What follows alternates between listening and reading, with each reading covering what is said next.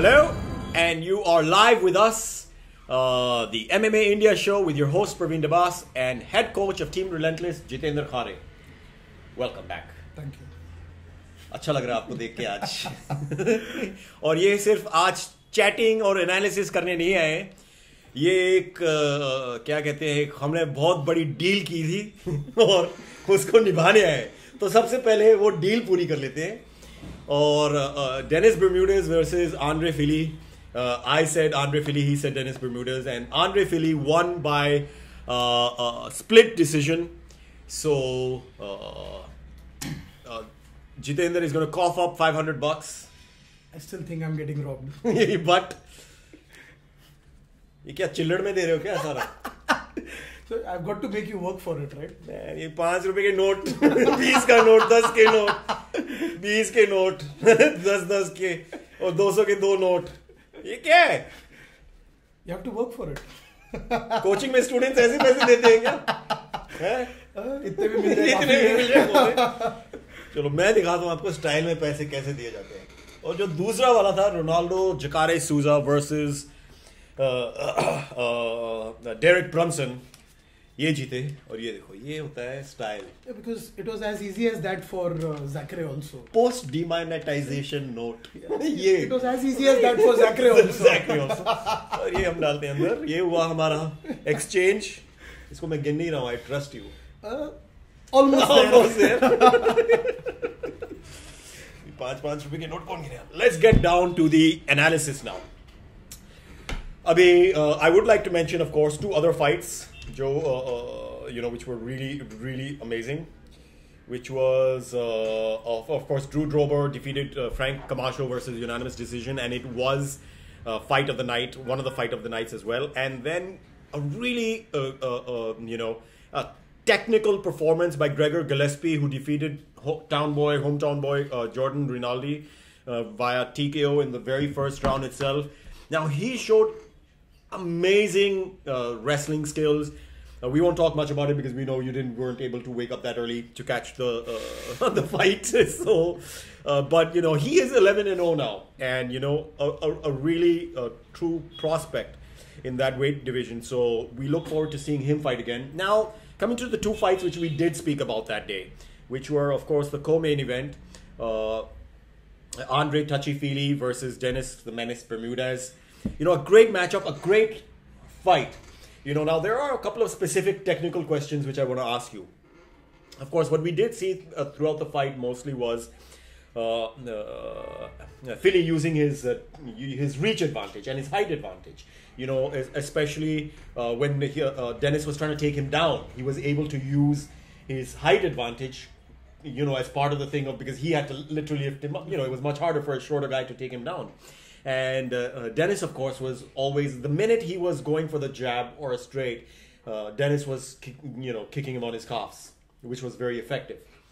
Now, now tell me this before we get into the uh, uh, fight itself. Have you ever coached somebody who had a height disadvantage like that, and what strategy uh, would you go for? So, uh, yeah, being Indians, we most probably land up with height disadvantage. Advantage. But uh, yeah, I think uh, you know when you're fighting taller guys, it comes down to understanding ranges while you're striking, especially. Yeah. It's about understanding the punching range and the kicking range, which I think Dennis Bermudez used very effectively. He understood that. Not effectively enough, though, I guess. Ah, arguable. arguable. so yeah, I mean, in the sense, you know, he knew that uh, that while he is in his kicking range, that's also you know the and Andre's uh, punching range. And I think whenever Andre went out and you know tried to jab and stuff, Dennis Bermudez used that range very well. Uh, I guess the second most important thing when you're fighting a taller guy always comes down to you know angles and head movement so that you can get in. Yeah. And uh, you know, if you see most of the fight, you'll see Dennis Bermudez uh, moving forward. And I think you know, fighting a taller guy, that's always going to be a risk that you're taking. You're always moving forward. At the same time, you're setting yourself up for counters. Yeah. Now, before we get into that, sorry, we'll just take a break. Taman wants us to talk about something is uh, uh, uh, uh, which we all know. We have written about it al- already. Taman uh, Ronda Rousey appears at Royal Rumble 2018. I don't think you saw it, and neither uh, did I.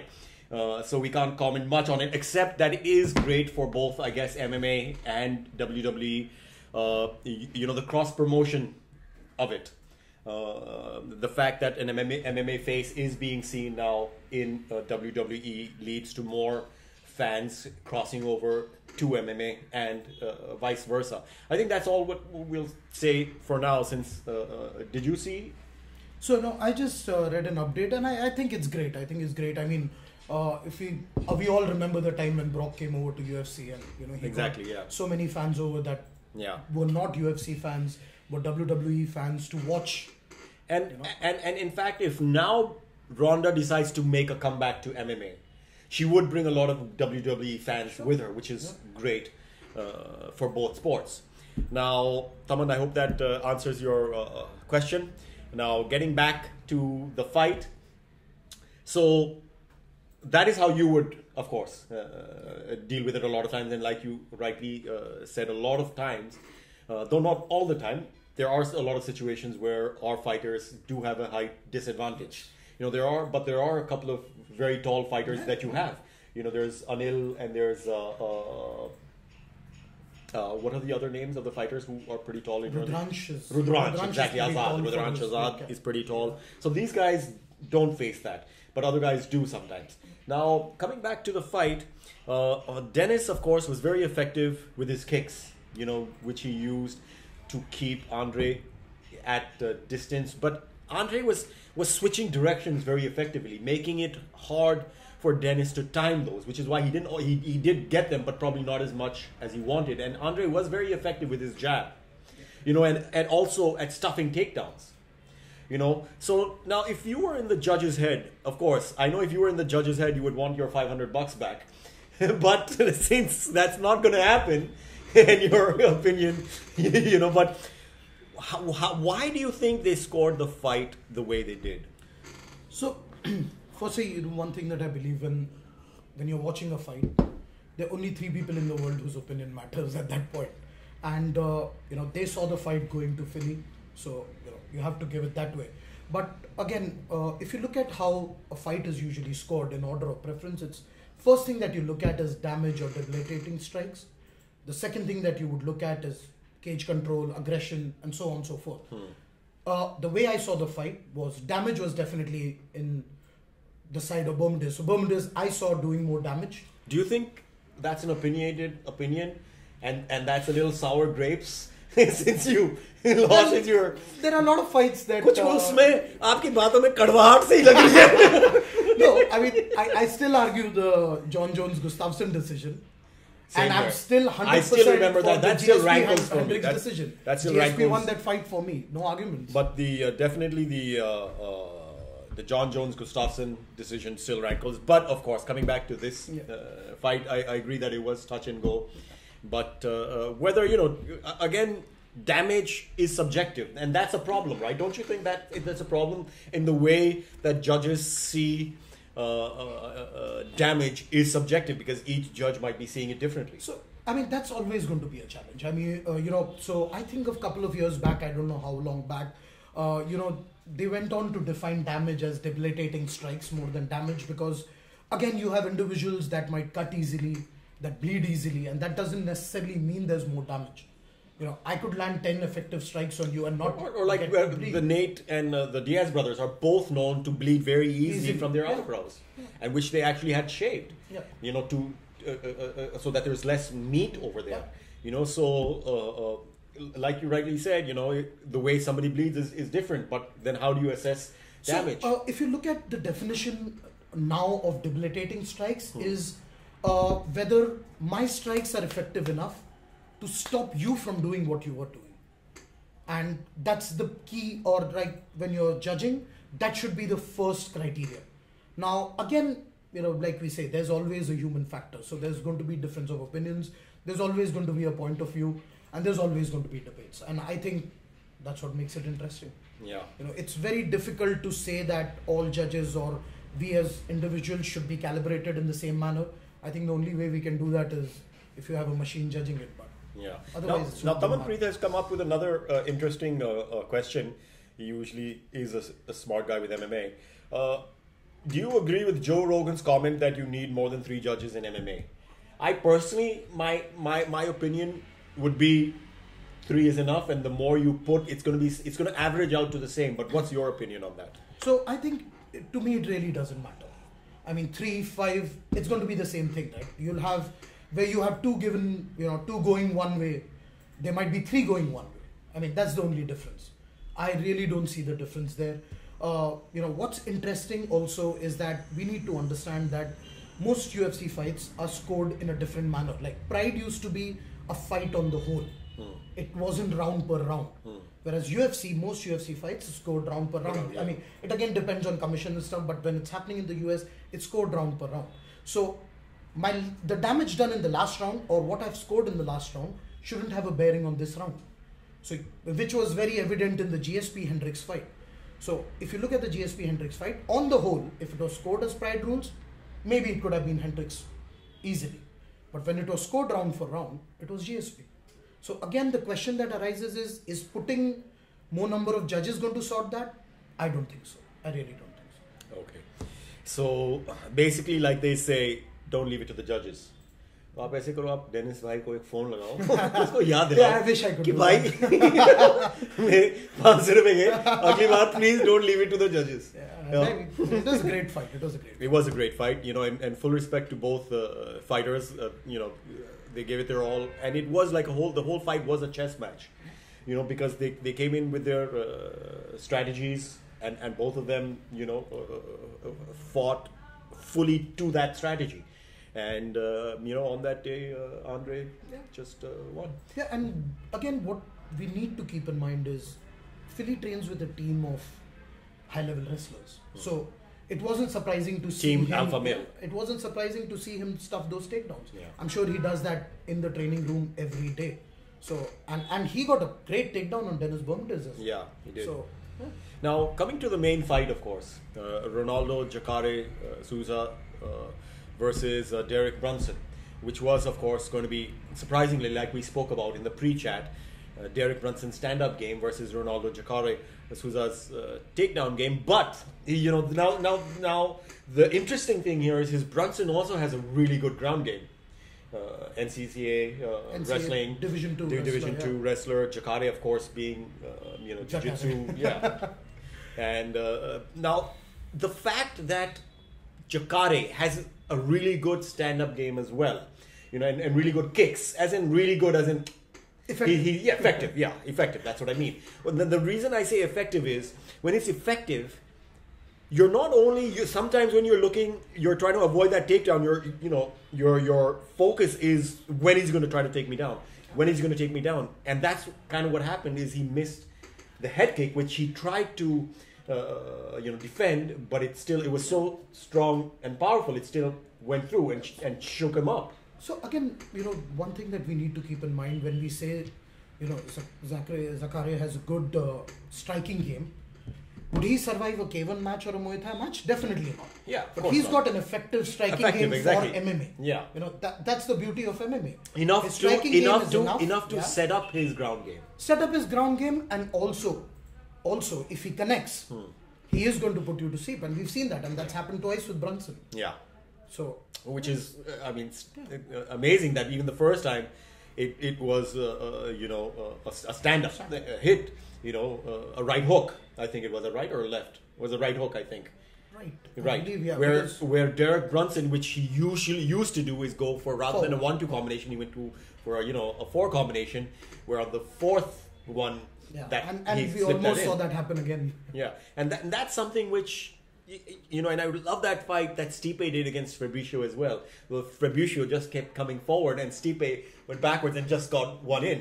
So anyway, coming back to this fight now, so because you have an effective uh, stand-up game, which you know l- leads to your uh, ground game, like Khabib. Khabib was amazing in his Edson uh, fight, where Barboza just you know was overwhelmed because he wasn't ready for the stand-up onslaught, you know, and which softened him up for the takedown.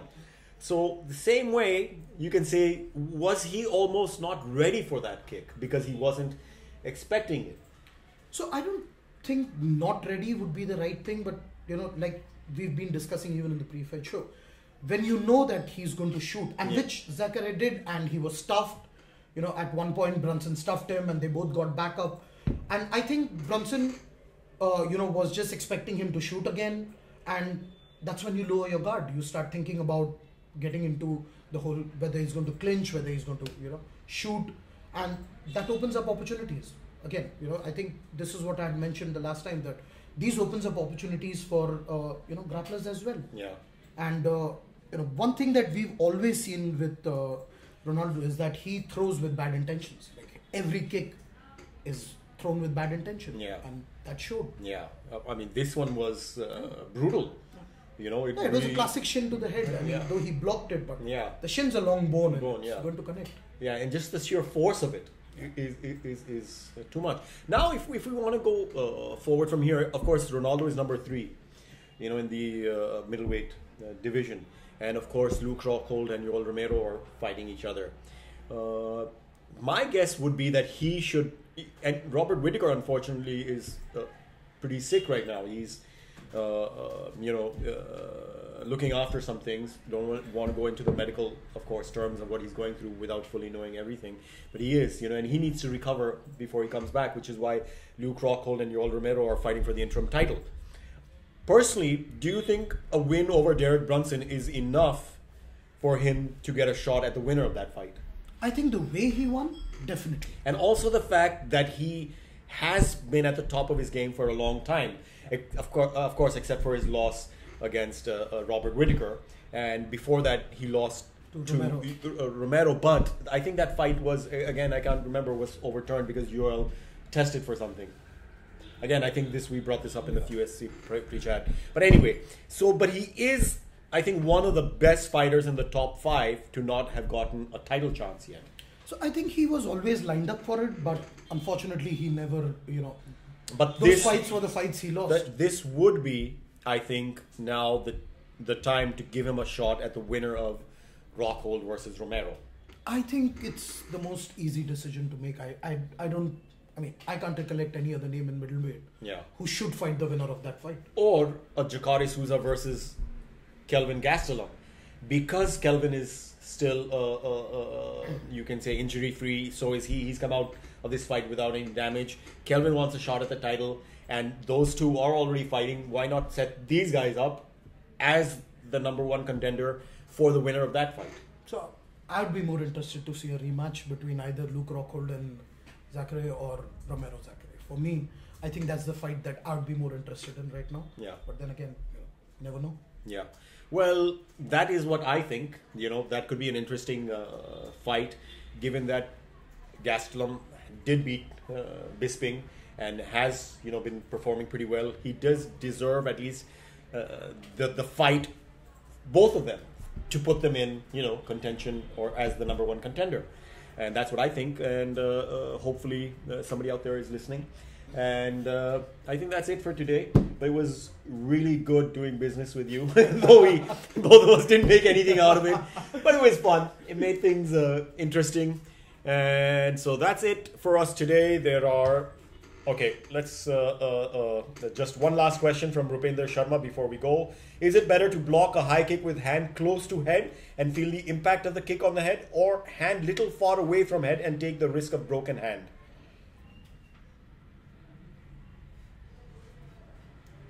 Just get out of the way. Just get out of the way.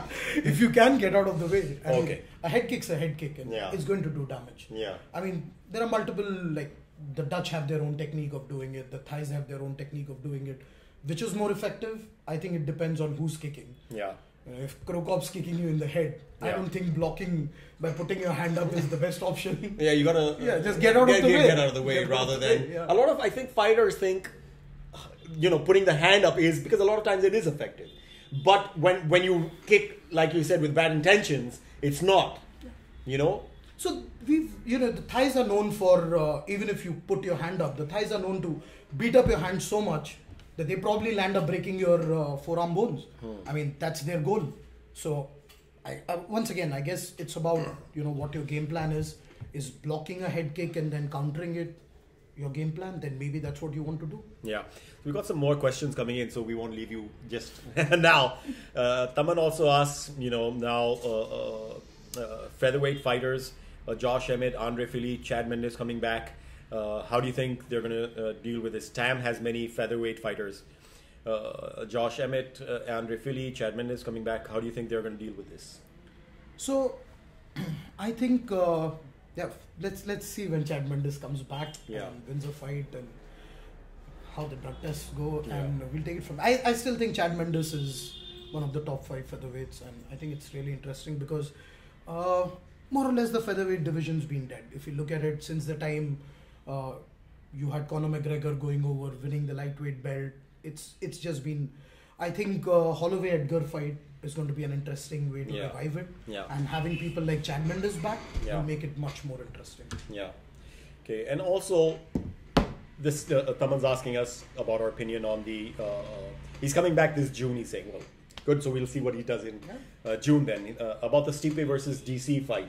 Of course, it's been uh, uh, announced, and we did. Uh, we were there live at UFC 220 and at the post-fight, uh, you know, press conference where DC, when this fight was brought up with him, because uh, Dana mentioned it in his post-fight comments that that's the fight he wants to see Stipe versus DC because there were not many other fights to give Stipe and DC Daniel Cormier of course was 13 and 0 you know when he was uh, a, heavyweight he's never been Yeah. defeated As a at- heavyweight. as a heavyweight and he was Strikeforce heavyweight champion as well and he is if you look at it apart from the height disadvantage you, you know because he has to cut down to light heavyweight a lot but uh, this would be a very interesting fight because it's not as if you know he's going out of his comfort zone. He's fought at heavyweight. You know he knows uh, what it is to fight at heavyweight, and he has. And Dana did very openly say, "Listen, okay, you don't want to fight your teammate. If you let's say you win, and you know, and Cain comes back, you can always give up the belt if you don't want to fight your." Which is fair enough, but it does set up a really interesting super fight, which allows DC to be uh, uh, the only other fighter apart from Conor to hold two belts simultaneously in the UFC run. Yeah, I, I think it's an interesting fight. I mean, this is one fight I really wouldn't know where to put my money because I see this fight going either way. You're looking at two really high level wrestlers, Yeah. and uh, you know, the DC's striking has been improving all the while, Yeah. and uh, Stipe is known like I mean, you should know Stipe for his striking. Yeah. So it's it's a very interesting fight though, Yeah. and uh, yeah, it's it's a great super fight. Yeah.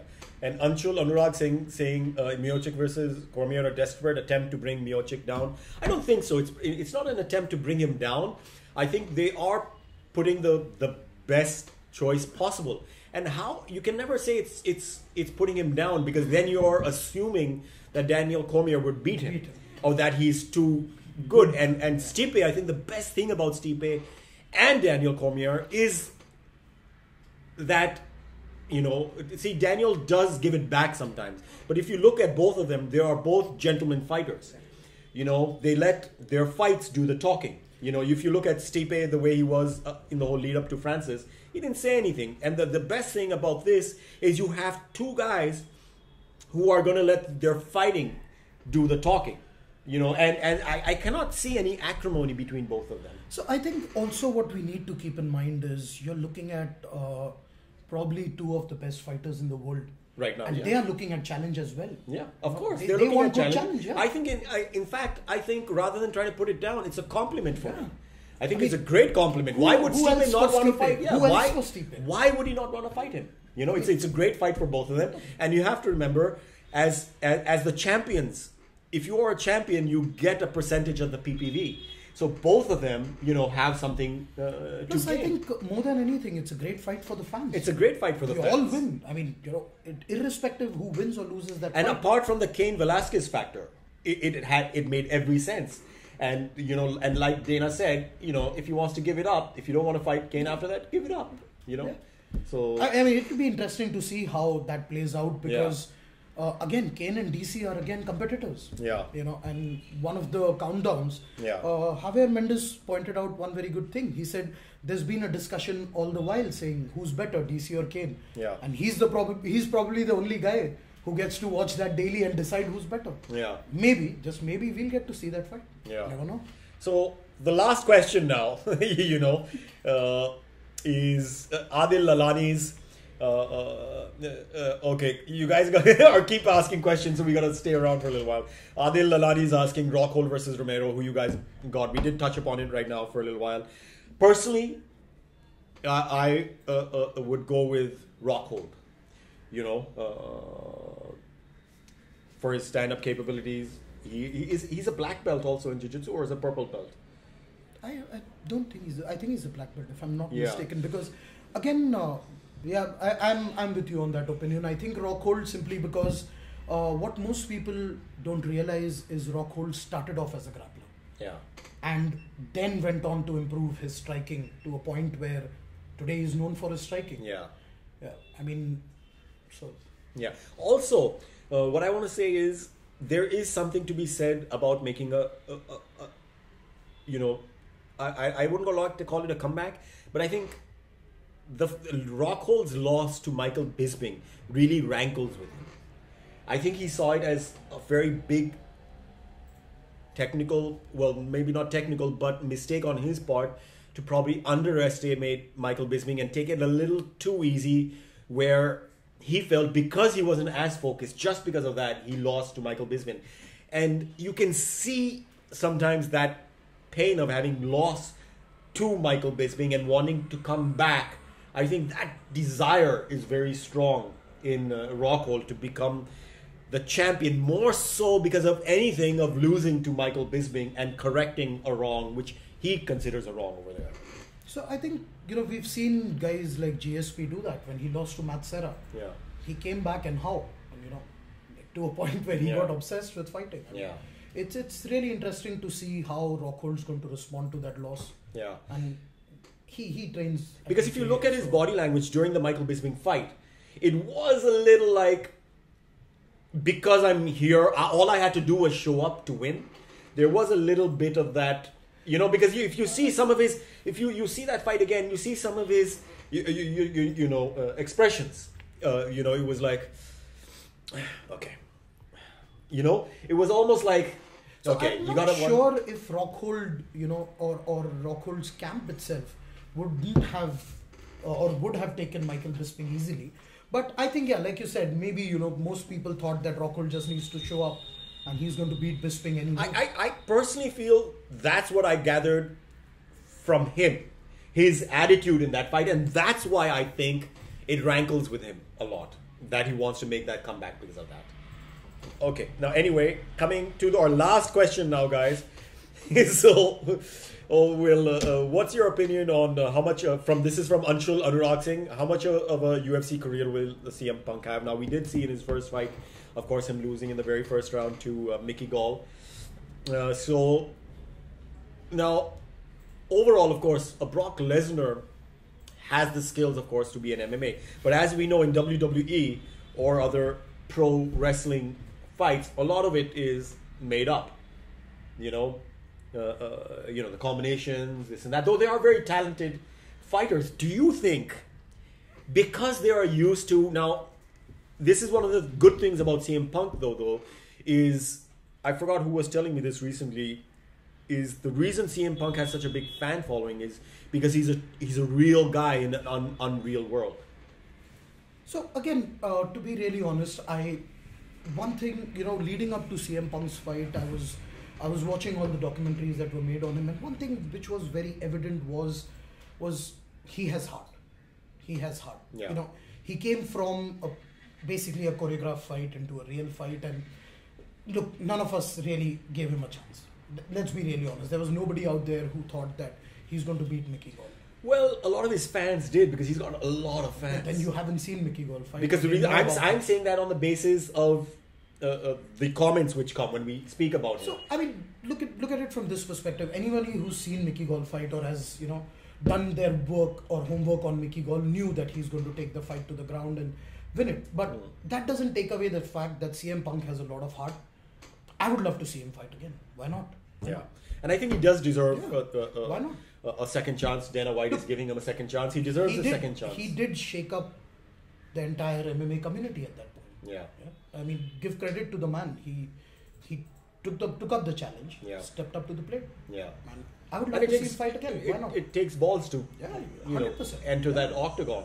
You know when you know things aren't scripted. you know, and especially when you have the pressure of millions of people wanting you to fail. Yeah.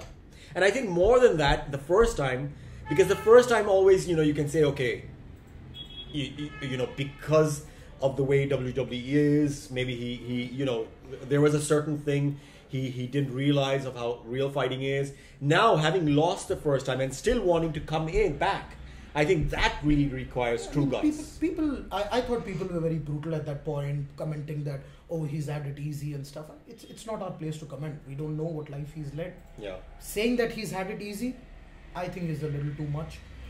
I, I really love the fact that he wants to come back and fight, and I would love to see him fight again, Yeah. hundred percent.